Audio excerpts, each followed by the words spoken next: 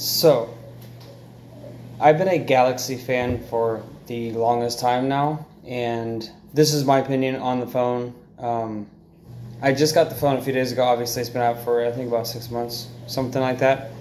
But I've had the, the first Galaxy. I missed the second Galaxy, third, fourth, fifth. Then I came back for the Galaxy S6. Now, when the Galaxy had first came out, was really, really nice. The way they did the software was different. Um, when you would open up the phone, pull it out of the box to inspect your phone, and you go to power your phone on, you would have this this space-like background with all these little dots, little white dots like stars. Well, they don't do that kind of layout no more for the obviously the Samsung S series.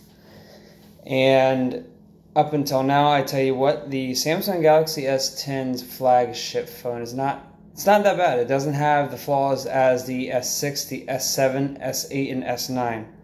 Now, there are similar specs, but they have been improved. Obviously, with each new flagship phone, there's going to be some sort of downfall. But I do tell you, if you are interested in purchasing the Samsung Galaxy S10 phone, the regular or the Plus, you won't be you won't be dissatisfied. I, I remember all of the flaws that I used to deal with from everything running slow and skippy to everything not wanting to connect to the local towers. When I would go to connect my S9 Plus the, to the Wi-Fi network, it would slow everybody down.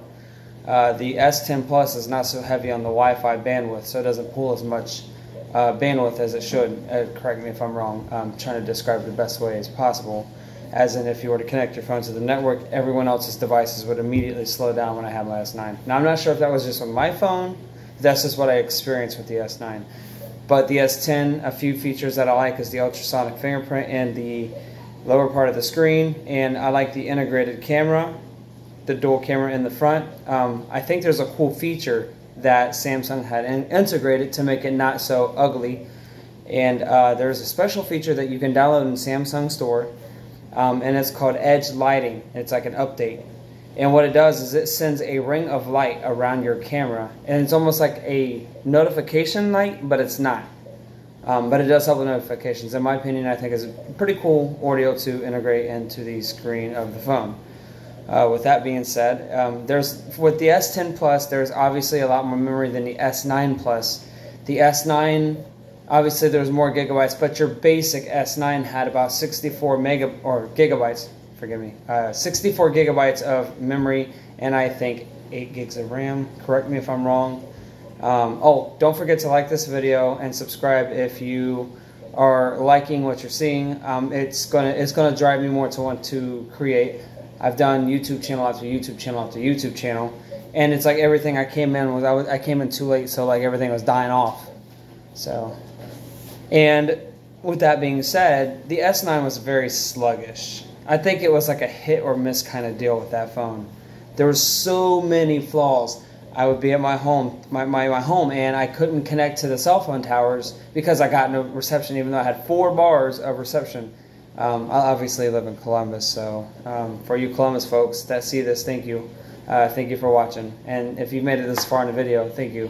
I'm not going to rant on much longer. I just want to keep it short and sweet. But if you are interested in getting the S10 Plus, please don't hesitate. Um, I know a little bit about the iPhone platform because obviously my wife, she's got the iPhone XR. Um, that's like, I think, one or two behind the main Max Pro. Uh, they seem alright.